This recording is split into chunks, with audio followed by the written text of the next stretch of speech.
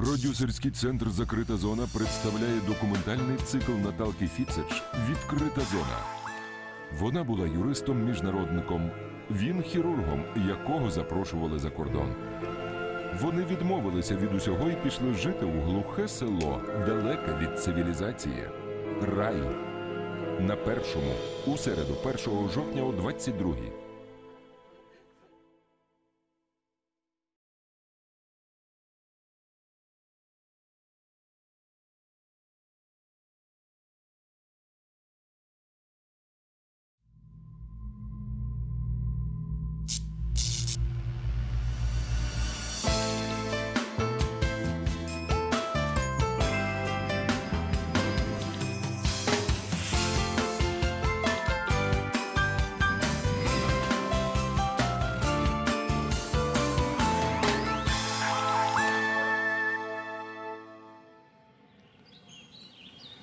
Сила дії дорівнює силі протидії. Третій закон Ньютона працює не тільки у фізиці, він цілком придатний до життя. Бурхливий розвиток цивілізації призводить до появи людей, які від неї тікають. В останні роки таких людей стає все більше.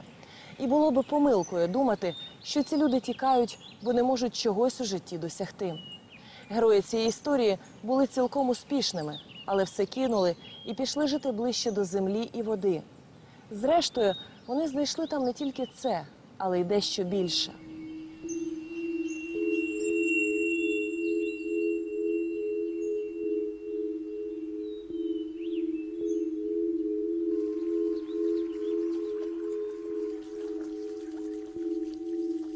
На мальовничих пагорбах поблизу Ходорова, що на Київщині, люди селилися з давніх давен. Ще сім тисяч років тому на цій землі трипільці будували свої поселення. З того часу тут мало що змінилося. У селі з милою назвою Ромашки з усіх благ цивілізації хіба електрика та автокрамниця, що приїжджає сюди лише раз на тиждень. Ольга та Петро Раєвські живуть у Ромашках вже чотири роки. Хоча обоє народилися та виросли у великих містах, та вони зовсім не сумують за цивілізацією. Навпаки, саме від неї вони сюди і втекли. А сюди ми приїхали не тільки заради того, щоб народити нашу доньку. Ми ще приїхали заради того, щоб приймати участь у створенні нового образу життя, щоб показати людям, що можна жити по-іншому. Ольга Раєвська була дипломованим юристом-міжнародником. Середню освіту здобувала у Сполучених Штатах Америки, вищу в Україні у Одеській юридичній академії. Оля володіє п'ятьма мовами, багато подорожувала світом, була амбітною та активною. Працювала юристом у районних радах, прокуратурі та у приватних фірмах. Я зрозуміла, що реально допомогти людям я не зможу. І що те, чому нас навчали у нашому закладі, і те, як воно є насправді, не мають нічого спільного. Петро Раєвський у минулому хірург. Був успішним лікарем. Його навіть запрошували на роботу до Данії. Практикував також нетрадиційну медицину, зокрема старовинну китайську акупунктуру, голковколювання, і не мав відбою від клієнтів. Своей работой удовлетворен не был, м, потому что людям помочь достаточно тяжело стать здоровыми. Э, Шаги люди должны делать самостоятельно. Їхнє життя змінилося, коли Оля та Петро зустріли одне одного. Сталося це у Львові. Обоє приїхали вивчати німецьку мову у літній коледж. Там і потоваришували. Згодом Оля приїжджала до Петра у Київ, він до неї в Одесу. А у перервах молода пара вела безкінечні розмови телефоном. Цей засіб цивілізації став у пригоді і тоді, коли Петро зважився освідчитися Олі на відстані. по телефону. М, Він подзвонив десь на півпершу ночі і сказав: Оля, мені треба з тобою поговорити. І коли він це сказав, я вже зрозуміла, що він мені не скаже. Ну, в общем, все темы разговоров мы обговор- проговорили, уже не о чем было разговаривать. Я решил выйти замуж. Він спитав російською мовою: Оля, ти вийдеш за мене замуж? От Я нічого не відповіла, але в цей момент я відчула, Я побачила навіть як, як, якесь яскраве світло навколо мене. Мене таке було, як якийсь сполох. Это вот такое волнение было, это э, как бы как все время остановилось в этот миг, когда это по телефону. Оля відповіла згодою. Невдовзі Петро приїхав за нареченою до Одеси, забрав її у Київ і там влаштував весілля за всіма правилами: реєстрація у ЗАГСі, вінчання у церкві та святкування у ресторані. Як правило, саме на цьому місці закінчуються усі казки. Але їхня казка лише починалась. Молодята поселилися у Києві удвох в однокімнатній квартирі. Було тіснувато, та спершу раділи і з того. Ну там было, ну вначале нормально, а потом уже, уже, э, уже хотели где-то э, где-то дом себе искать, чтобы, чтобы как-то детей можно было заводить.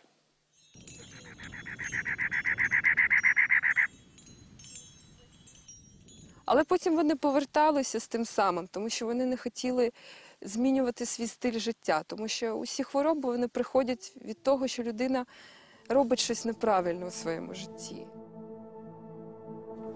Поступово Петро та Оля Раєвські почали розуміти, що реальність їхнього життя відрізняється від казки, про яку вони мріяли.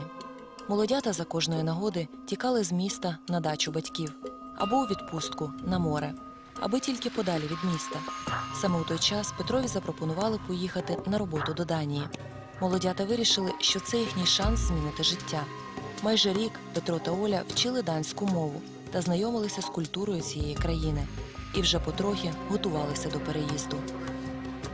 І настільки ці люди нам виявилися близькі, культура ця скандинавська, і теж вони живуть схоже, як ми. У них теж є хатинки, мазанки, теж такі там багато сел, таких малозаселених, не дуже. І серце наше почало нам підказувати, що навіщо вам туди їхати?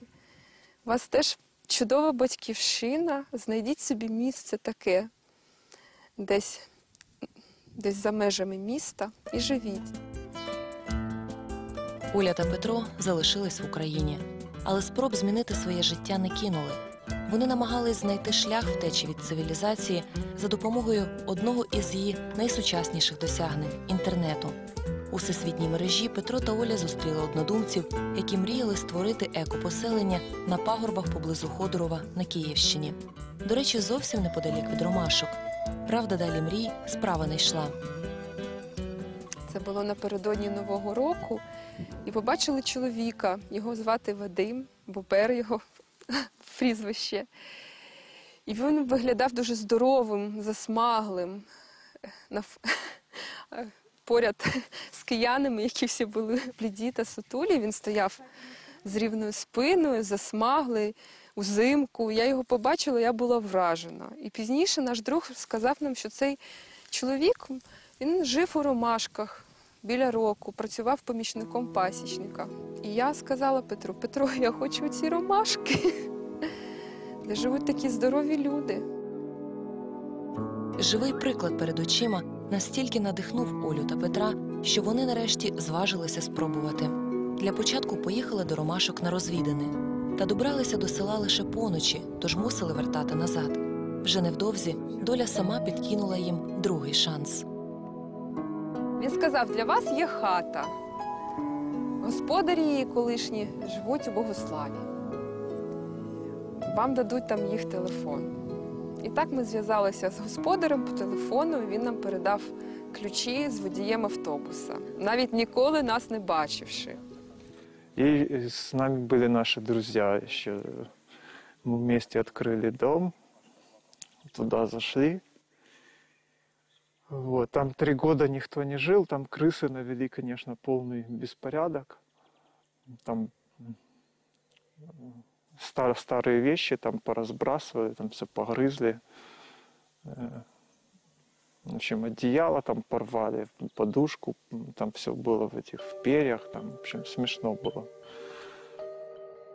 Старенька хата виявилася мало схожа на ту казку, яку вони собі уявляли. На щастя, поруч із ними були друзі. Вони допомогли поприбирати і влаштувати тимчасовий нічліг із сіна. Відступати удруге Петро та Оля не могли. Власне, їм уже не було куди відступати. Вони чекали дитину. Це все робилося заради неї. Наша основна мрія була це народити дитину на родовій землі, щоб в неї була батьківщина, щоб в неї був сад, садок, ліс, щоб в неї були друзі, сусіди, щоб вона була вільна, щоб вона росла щасливою. І ми відчували, що у місті ми їй не, не можемо, не зможемо цього дати. Півтора місяці Оля та Петро облаштовували нове гніздечко та призвичаювалися до нового життя. Воно виявилося зовсім інакшим, ніж у мріях, хоч важчим, зате цікавішим. Так начали смотреть, куда же мы попали. И вот мир начал нам казаться первое время такой серый, потому что столько тут надо было делать. И вот с каждым днем вот становилось все веселее и веселее, что уже вот что что-то вот уже сделали.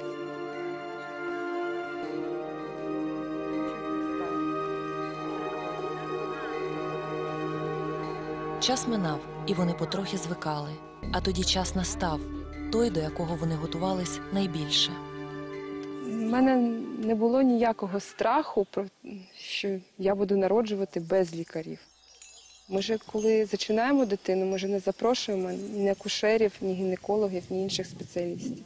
А пологи, роди це такий же інтимний процес, як і зачаття дитини. Про всяк випадок Петро тримав при собі лікарський чемоданчик. Щоправда, жодного досвіду приймання пологів він не мав, адже був хірургом, а не акушером. Тож у цій справі більше розраховував на дружину.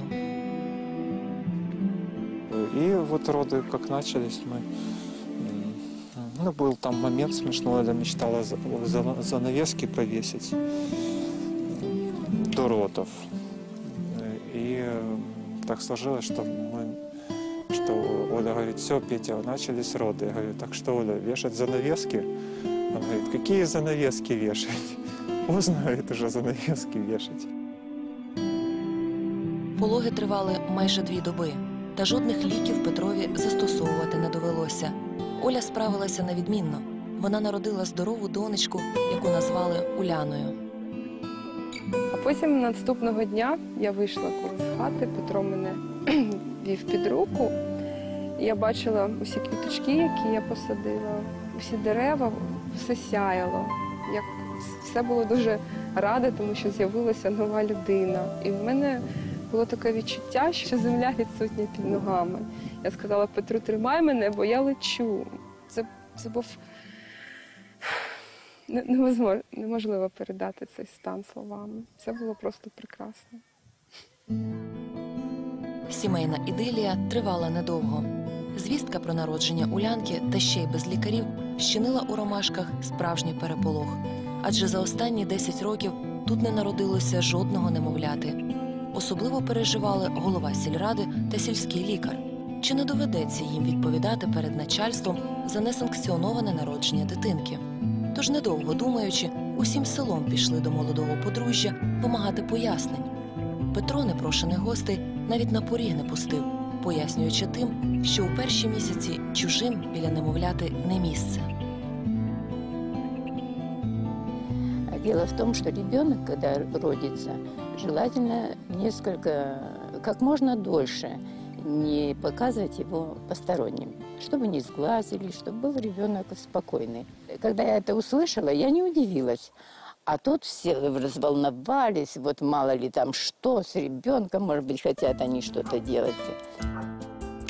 Рима Григорівна, сусідка Раєвських. У минулому вчитель біології у місцевій школі, нині пенсіонерка. Пригадує, народження дитинки настільки розхвилювало сільську громаду, що молодій парі усе-таки довелося поступитися. На кілька місяців Оля з Улянкою виїхали з ромашок перечекати, поки все минеться. Але потім знову повернулися. Очень настороженно приняли. Через некоторое время почувствовали, что они ведь и не пьют, и не курят. А знаете, здесь э, в селе э, тут же невозможно, наверное, мужчинам оставаться без этого наркоза.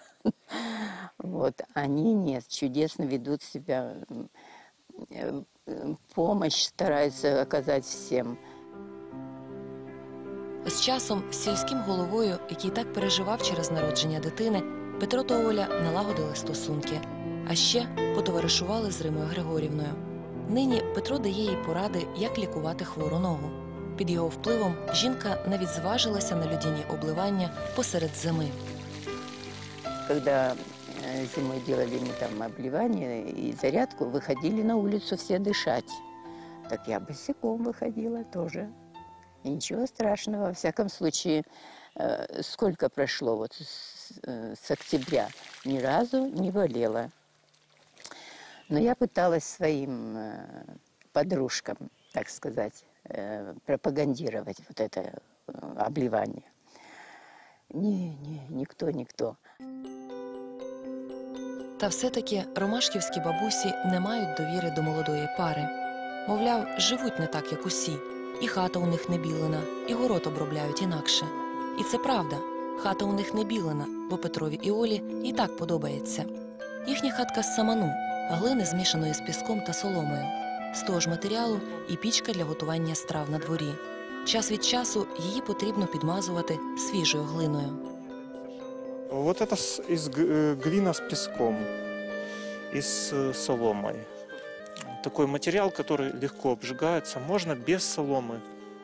Его надо вначале почистить, потом э, смочить водой, чтобы поверхность э, м, была э, готова к работе, чтобы к ней прилипал э, материал, саман. И уже потом можно что-то делать. Щоб вижити тут, Петрові та Олі довелося навчитися усе робити самим. Для людей, що народилися і виросли у великих містах, це було нелегко, але вони змогли, ба навіть більше. Вони свідомо відмовилися від усіх благ цивілізації, яких і так небагато у ромашках. Газову плиту, яку їм привезли батьки, закрили у сараї, електрику відрізали. Навіть мобільний телефон випадково втопили у відрі з водою і полегшено зітхнули без нього. Тепер вони все роблять по-своєму. Навіть город обробляють не так, як усі.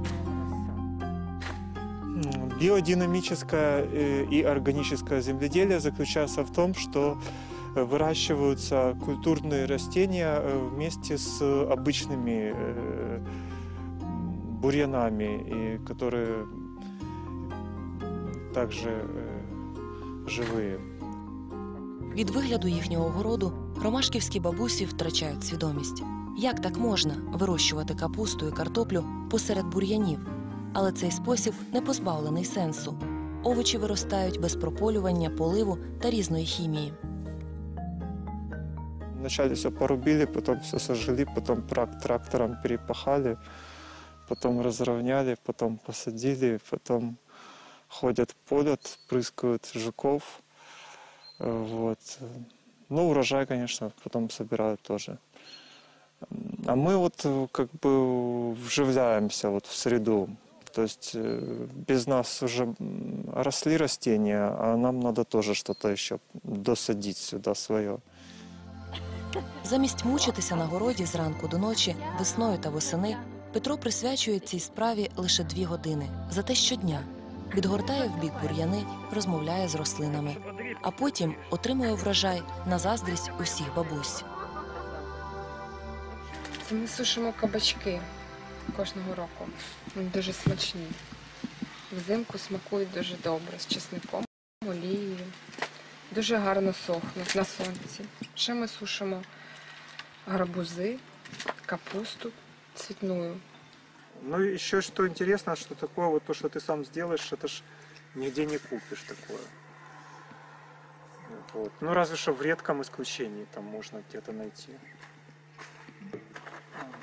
Ну, и то все равно оно будет не такое, как то, что ты делаешь самостоятельно. Вкладаєш туди свою душу. Да, и оно полезно, оно, в принципе, для здоровья, для всего, для души. И все очень легко будет. Тут особо тяжелого труда нету, чтобы это все насушить. Петро, Оля та їхня донечка Улянка вживають в основному рослинну їжу, ту, що виростили самі. Кажуть, вона має інший смак. Взагалі, вони не беруть від природи зайвого, лише те, що їм потрібне для життя. Собираем лещину. Ульяна очень любит лещину. Ну, мы тоже, конечно, любим. Но Ульяна особенности любит. Вот. И пока она есть, ее надо собирать, иначе ее соберут белки. Ну вот они уже сейчас белки вот-вот начинают ее собирать. Буквально еще неделю она ее не будет. Ну уже так что нам нельзя тратить время. Вот я вижу, вон лещина там еще растет.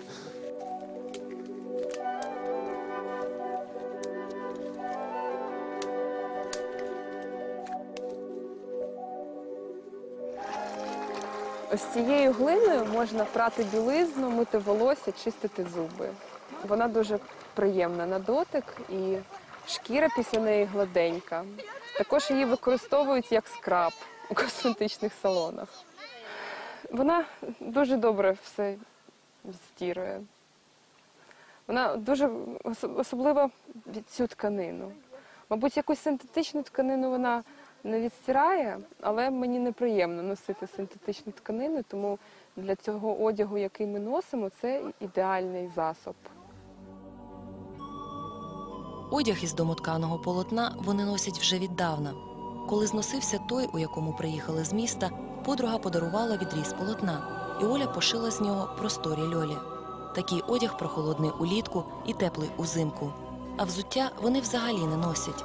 Навіть узимку ходять босі. Так само невибагливі і в житлі.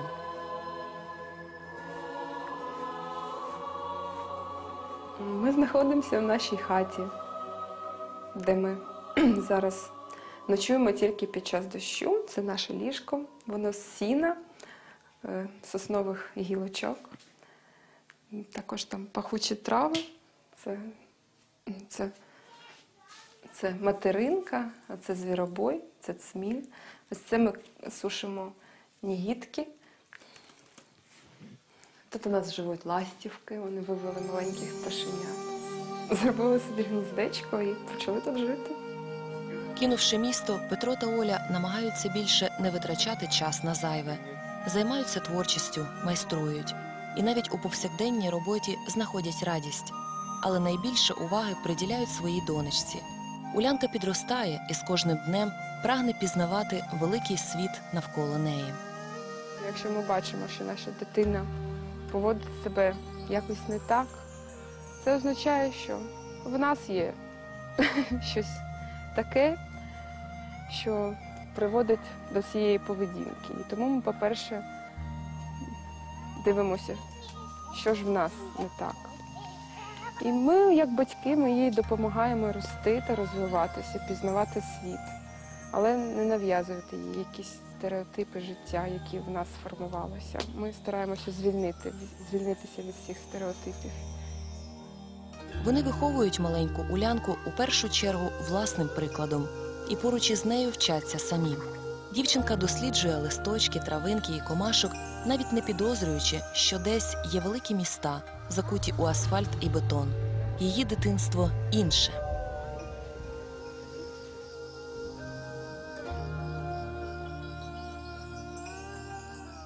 Тебя тут мы э, прекрасно ощущаем. И м, каждый день, как просыпаемся, так и ложимся спать в совершенно прекрасном состоянии. Потому что мы тут э, себя чувствуем абсолютно естественно. Тут я себе почуваю щасливою.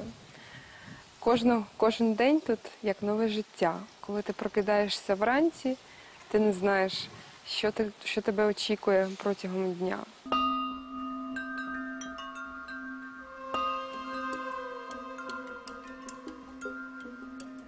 Недавно у подружжя Раєвських з'явився послідовник Андрій Коваленко.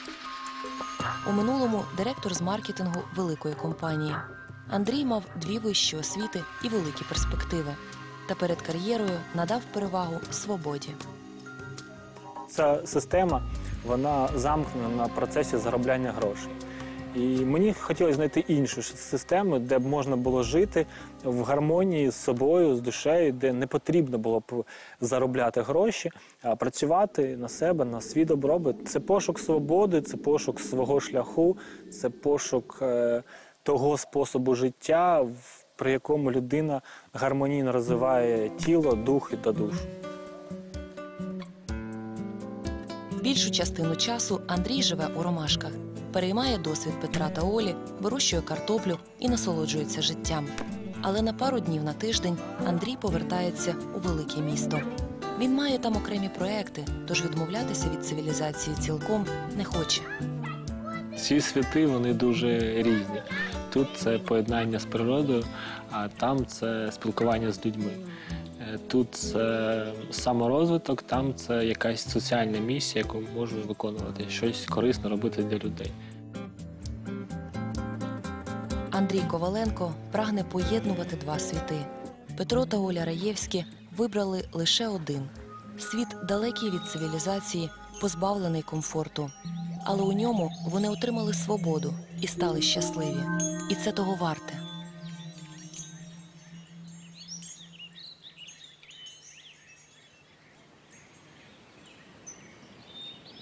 Я так думаю, зробити цей крок, відмовитись від цивілізації, героям цієї історії було ой як нелегко. Та вони його зробили, бо мали мрію і йшли до неї.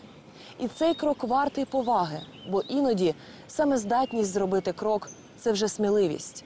А де сміливість, там і свобода. Незалежно перебуваючи серед цивілізації чи поза її межами.